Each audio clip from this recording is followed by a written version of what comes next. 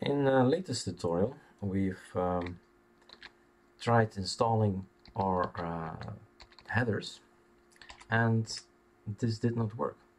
Meaning when we install it then we have this, this uh, extra information. So the sudo pacman minus s linux headers LTS of course headers because we are on the 4.9.26 here, LTS.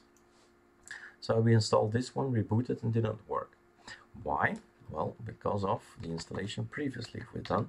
We've tried this one. So if we press uh, this one, we can, or we did try to test if this one will work. The host modules arch. That's the one we've installed. VirtualBox yeah VirtualBox of course.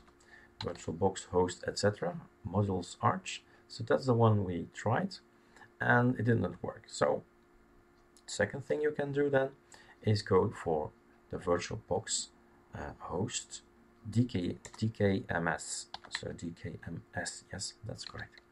So VirtualBox host DKMS and install that one if you install that one, I've already done it, so reinstalling it says now, um, then it will work just fine. So, of course, again, you have to reboot, and then again, you will see that if you run it again, he'll use the information from DKMS, and as you can see, that works just fine.